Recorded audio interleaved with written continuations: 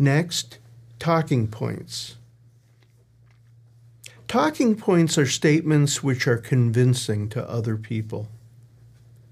They include accurate information, logical consistency, and an emotional appeal to their self interest or to a moral authority that is higher than all of us.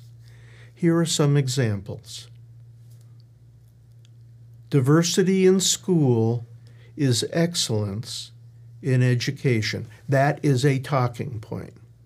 Again, diversity in school is excellence in education.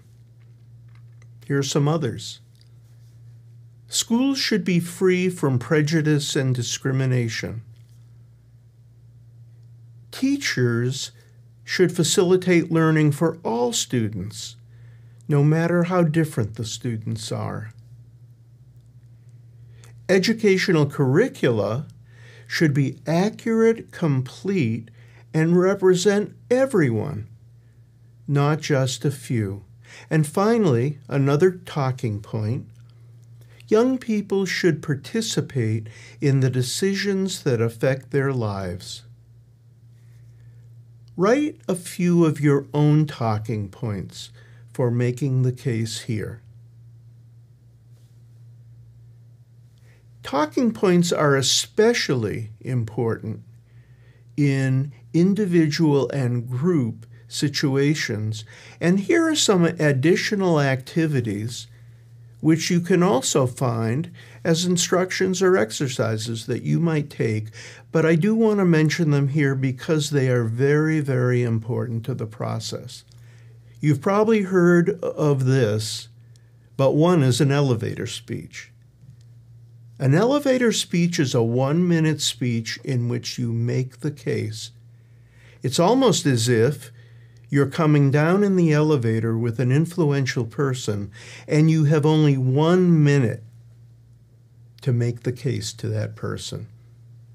So here's how to do it prepare your speech so that you can speak without hesitation. Imagine that you're in an elevator and you meet a decision maker. Introduce yourself, present your idea, and make the person want to know more, all before you get to the ground floor. And as you're leaving, choose a follow up suggestion. For example, would it be okay if I send you uh, a one pager that summarizes our work? Always leave some homework for yourself and for the person you are trying to sensitize.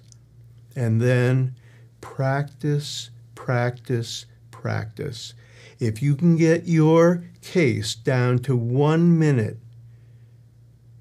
you have something far more powerful than if it were a lengthy statement about what people should do. Another exercise or activity public speaking. Public meetings offer opportunities for young people to make persuasive pre- presentations to community residents. There were places for presentations in ancient times of our democratic society as our city councils and school boards today. Unlike the ancients, however, today's adults often schedule meetings at times which are inaccessible to young people, or follow rules that are unfriendly to them, or even when they are friendly, do not take young people's opinions into account. It's no surprise when young people become frustrated and withdraw from participation in the process. We end with the importance of public speaking. If leadership is about stepping forward, then public speaking is what comes next. You have a right to speak up, and social justice depends on it.